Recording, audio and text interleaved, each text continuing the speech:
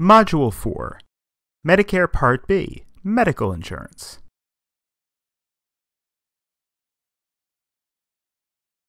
In Module 3, we discussed the coverage and associated costs for hospital insurance under Medicare Part A.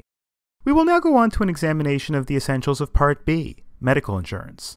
Under both original Medicare and Medicare Advantage plans under Part C, Part B covers many medical insurance costs for enrolled patients. In general, these cover medically necessary physician services, outpatient care, home health services, durable medical equipment, mental health services, and other medical services. Part B also covers many preventive services. After confirming that she has Medicare Part B, a patient will want to know what types of services are covered and the amounts of the costs of those services for which she's going to be responsible. The list of covered services and payment requirements for patients is quite lengthy.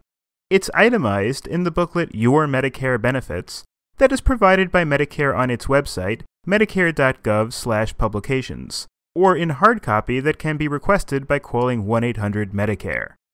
In this module, we will consider a representative sampling of covered services and their associated costs to illustrate the breadth of some of the benefits that can be expected by a Medicare participant.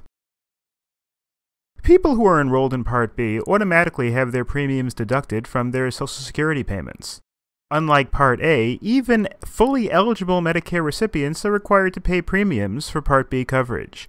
As of 2018, the base premium for Part B is $134 per month. People who earn more than $85,000 per year, or $170,000 for married couples filing jointly, must pay additional income related surcharges depending on income level. The highest payers are people earning $160,000 or more, or $320,000 for married couples filing jointly, who pay Part B premiums of $428.60 per month as of 2018. These numbers can increase each year through cost of living adjustments.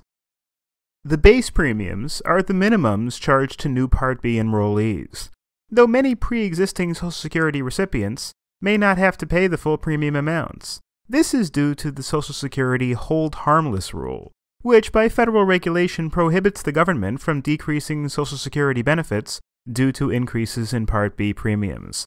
So, if Part B premiums increase more than Social Security cost of living increases, which increases Social Security benefits to keep pace with inflation, the recipient cannot be made to pay for the difference. As a practical matter, this means that many people who have been on Social Security for many years pay premiums that are somewhat less than the base premiums. In addition to premiums, Part B recipients are responsible for deductibles and copayments. As of 2018, the annual deductible for Part B is $183. The patient is responsible for costs of medical services up to the Part B deductible amount. Thereafter, Medicare pays 80% of the Medicare approved amounts for most services. The patient is responsible for the remaining 20% of the Medicare approved amount. As we discussed in the context of Part A, the Medicare approved amount may be substantially less than the private pay rates. The 20% coinsurance does not apply for covered preventive services received from physicians and other qualified healthcare providers. However, some preventive services may require the payment of a deductible, coinsurance, or both. Assignment Physicians and other healthcare providers can choose whether to participate in Medicare just as they can choose whether to participate in other types of insurance plans.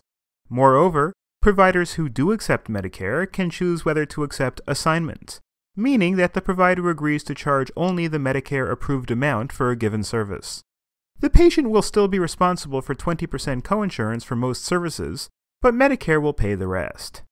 If a patient sees a provider who does not accept assignment, or if she has enrolled in a Medicare Advantage plan under Part C, or other supplemental insurance plan, her costs may be different than those offered under original Medicare. As described in Module 2, Medicare Advantage plans must follow rules set by Medicare, but they may charge different out of pocket costs and have different rules regarding referral to specialists or coverage for out of network providers for non emergency or non urgent care. It should be noted that Medicare Advantage plans have yearly limits on out of pocket costs for medical services. Providers who do not accept assignment may also charge the patient more than Medicare will pay for preventive services, even if Medicare would ordinarily cover 100% of those services. Covered services. The following is a partial list of covered services under Part B. For each of these services, unless otherwise indicated, the patient will pay the following. For a service that is delivered in a doctor's office or a freestanding clinic, 20% of the Medicare approved amount after the Part B deductible is paid for the given year, and, if it is provided in a hospital outpatient setting, an additional hospital copayment. Advanced Care Planning Medicare covers voluntary advanced care planning as part of the patient's yearly wellness visit. This is planning for care that she would want to get at a future time if she's not able to speak for herself. This might include signing a legal document, variously called a living will, healthcare proxy, or advance directive. There's no patient payment if the provider accepts assignment, unless this planning is not part of her yearly wellness visit, in which case Part B deductible and coinsurance will apply. Ambulance services. Medicare covers ambulance transportation to a hospital, critical access hospital, or skilled nursing facility for medically necessary services if transportation in any other vehicle could endanger the patient's health. Medicare will only cover ambulance services to the nearest appropriate medical facility that is equipped to provide the required care. Ambulatory surgical centers. Medicare covers the facility services associated with approved surgical procedures, provided in an ambulatory surgical center. Except for certain preventive services, for which the patient pays nothing if the provider accepts assignment, the patient pays 20% of the Medicare approved amount to both the ambulatory surgical center and the physician who treats him. Cardiac rehabilitation. Medicare covers comprehensive programs that include exercise, education, and counseling for patients who meet at least one of a list of conditions including having had a heart attack or coronary bypass surgery in the last year, current stable chest pain, a heart valve repair or replacement, a coronary angioplasty or coronary stenting, a heart or heart lung transplant, or stable chronic heart failure. Chemotherapy. Whether it's delivered in a doctor's office, a freestanding clinic, or a hospital outpatient setting, chemotherapy is covered by Medicare Part B. Chronic Care Management Services. Medicare may pay for a healthcare provider's management help if a patient has two or more serious chronic conditions, such as arthritis, asthma, diabetes, hypertension, heart disease, osteoporosis, and others. This may include creating a comprehensive care plan that will define the health problems and goals, the required care, and coordinating the care. There is often a monthly fee for this management, and Part B deductible and coinsurance will apply. Defibrillator. If the surgery to implant a defibrillator occurs in a hospital inpatient setting, payment will be covered by Medicare Part A. Otherwise, Part B will cover it, necessitating the payment of Part B coinsurance. Diabetes supplies. Blood sugar testing monitors and supplies are covered by Medicare. The patient may be required to get the supplies from Medicare approved suppliers. Part B will only cover insulin if it is medically necessary, and it is administered with an external insulin pump. Injectable insulin and related supplies, as well as some oral diabetes drugs, may be covered by Medicare Part D, which covers prescription drugs. Doctor and other healthcare provider services. Medicare will pay for medically necessary doctor services, including outpatient services and some services received as a hospital inpatient, for covered treatment related and preventive services. It will also cover services from other healthcare providers, such as physician assistants, nurse practitioners, social workers, physical therapists, and psychologists. Durable medical equipment. Types of items that are ordered by a physician or other healthcare provider for home use, such as oxygen equipment and supplies, wheelchairs, walkers, and hospital beds, can be covered by Medicare. Doctors and durable medical equipment suppliers must be enrolled in Medicare to receive payment for claims. Medicare coverage of these devices requires a face to face examination and a written prescription from a qualified provider. Suppliers of these services must accept assignment to be eligible for coverage. Hospital outpatient services. While inpatient hospital services are covered by Part A, Part B covers hospitals and doctor services provided in hospitals to outpatients. Note that a patient is considered an outpatient until formally admitted. A person can even be an outpatient if he spends days in an emergency room, intensive care unit, or under observation until discharged or formally admitted. Eyeglasses after cataract surgery. Cataract surgery itself may be covered under Part A or B. Though eyeglasses are generally not covered by Medicare, Part B covers one pair of corrective lenses following surgeries that implant intraocular lenses. Laboratory services. Part B covers certain blood tests, urinalysis, tests on tissue specimens, and some screening tests. Laboratory services are further protected by two additional rules. First, a participating laboratory that meets Medicare requirements must provide these services. Second, there is generally no coinsurance responsibility of the patient.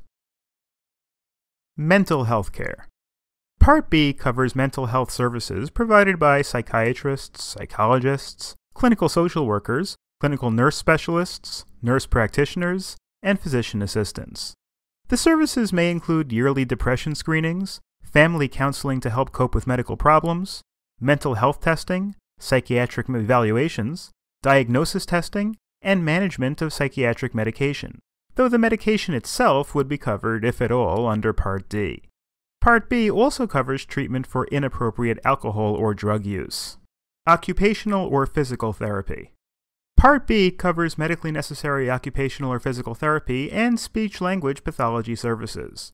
There's no limit to Medicare coverage of these services, but coverage over $2,010 as of 2018 must be accompanied by documentation from the treating professional justifying the treatment. Coverage over $3,000 per year may trigger additional reviews. Covered preventive services. There are many medical services that are considered preventive that may be covered under Medicare Part B. Unless otherwise indicated, the patient pays nothing for these services if the provider accepts assignment, which means that the patient pays no coinsurance or copayment and deductibles do not apply.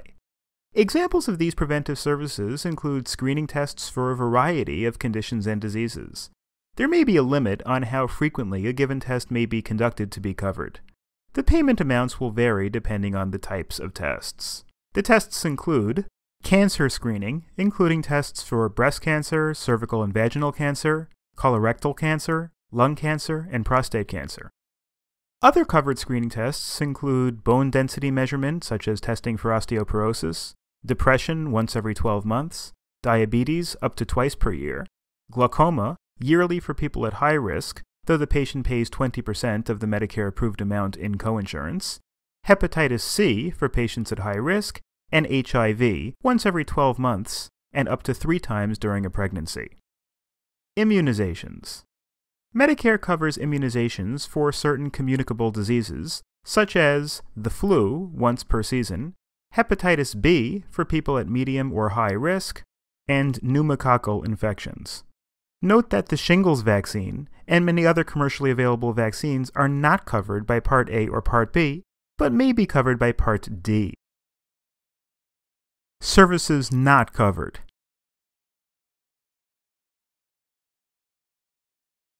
If a patient needs a certain type of service that is not covered under original Medicare Part A or Part B, she will need to pay for it herself unless she has other coverage, such as a Medicaid or supplemental health insurance program, or is covered by a Medicare Advantage plan that covers the service. Examples of items that are not covered by original Medicare include most dental care, including dentures, routine eye examinations related to prescribing glasses or contact lenses, other eye care, except in the case of cataract surgery and post surgical corrective lenses, cosmetic surgery, acupuncture, hearing aids and exams for fitting hearing aids, long term care, and special contract care also known as concierge care, retainer based medicine, boutique medicine, platinum practice, and direct care. Switching, leaving, and late enrollment. If a person did not sign up for Medicare Part B when she first became eligible, she may have to pay a late enrollment penalty for as long as she has Part B. The monthly premium for Part B may go up 10% for each 12 month period that she could have had Part B but did not sign up for it. Thus, for example, if she signed up for Part B two years after she became eligible, she will always have to pay a 20% premium penalty for as long as she's on Part B. So don't be late in signing up for Medicare. Medicare health plans and prescription drug plans can make changes each year. These changes may include costs, coverages, and which providers and pharmacies are in the applicable networks. A subscriber may switch plans during the period from October 15th through December 7th, with the new coverage beginning on January 1st of the following year. If she does not switch, changes within her existing Medicare health or prescription drug coverage would also begin at this time. The participant is informed of any changes to her plans in an annual notice of changes. We have now completed our look at the main components of Medicare medical insurance, or Part B, coverage.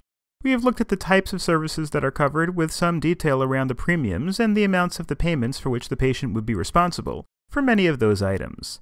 In the final module of this course, we will learn about the features of Medicare prescription drug coverage, also known as Medicare Part D.